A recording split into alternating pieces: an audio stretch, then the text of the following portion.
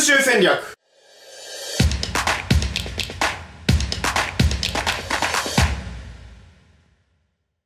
どうもちは、篠原です。今回はですね、妥協なく身につける復習戦略ということで、復習しましょう、復習大事だよって話よくするんだけれども、まあ、やってますっていう人多いんですよね。やってますでも、偏差値40代です、上がりませんっていう人がいて、マジかと言っていろいろ聞いてみると、復習のやり方違うぞっていうことになったんで、まあ、今回はね、その内容っていうのを紹介したいと思います。で、まあ、この通りも復習してもらったら成績上がらないわけがない。これで成績が上がらないっていう人はもうちょっと、何かしらね、えー、問題があるんで、これ絶対上がります。あの、二足歩行だったら成績上がりますんで、あの、絶対大丈夫です。で、まずですね、えー、っと、復習いつやるか、えー、これいろんな動画で言ってます。寝る前、翌朝、週末、月末、テスト前ですね。えー、まあ、このぐらいのタイミングでやりましょうということです。えー、人間の脳みそには会話っていうところがあって、会話で物を覚えるんですね。で、この会話っていうのは、使わない情報っていうのはいらねえと思ってどんどん捨てることにしてるんですだから例えば1週間前の飯何食ったか覚えてないですよねで覚えてないっていうのは何でかっていうとあなたの人生にとっていらないからですで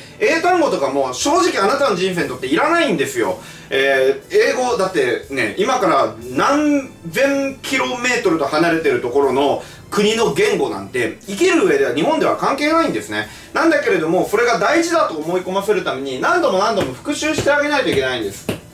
でタイミングさええー、ちゃんとやってもらえれば反復さえしてもらえば場所は問いません。えっ、ー、と寝ながら OK です。電車の中 OK です。学校での勉強椅子に座って何でも OK です。どこでもいいので復習してほしい。学校の休み時間といった隙間隙間時間ですよね。だとかあ通学中もまああの電車通学の人はやってほしいし寝る前に布団で見るとか、えー、っとトイレとか風呂で見る何でも OK です。でこの復習何をするかっていうと暗記事項いつ暗記いつの暗記事項かっていうと えまあ寝る前だったらその当日見たもの翌朝だったら昨日見たのと見た見たものですね。週末だったら今週見たもの月末だったら今月見たもの。テスト前だったらテスト期間中まあそのテスト期間ですね。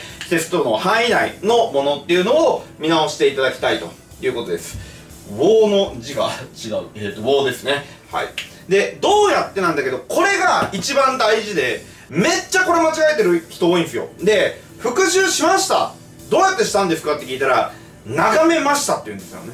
で眺めるは意味がない。あの今まで眺めて覚えられたものありますか？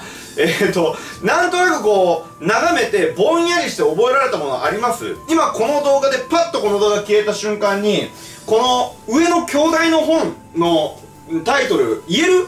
言えないでしょ。でこれ上に兄弟の赤本これいくつか並んでるんだけれどもこれ覚えみ眺めてたよね。目には入ってたけどどの本がどの順番に並んでるか覚えてなかったですよね。みたいな感じで眺めることに意味はないんです。どうするかっていうと確認する。例えばある英単語に対してこれが犬だということが、えー、分かるかどうか、まあ、こっちを隠してみる、えー、犬だと。こっち隠してみる。毒だと。言えるかっていうその覚えてるかどうかの確認をするんですね。で覚えてなかったらあしまった。覚えてなかったわ。っていうふうにすると。いうふうにして、まあ、星でも何でもいいからつけておいてでまたねこの翌朝のタイミングで確認する週末のタイミングで確認するっていうふうに重点的にやるということが復習であって眺めるに意味はない。復習は確認するということです。もう一度反復して習うですからね。再び習うで復習だから。習わないといけない。眺めるじゃないんです。再び眺めるだったらあれですよ。話違いますけど違うんで。習うなんで。習わないといけないですからね。はい。ということでいつどこで何をどうやって復習するかということでした。ぜひやってください。今回のはこれで以上です。ご視聴お疲れ様でした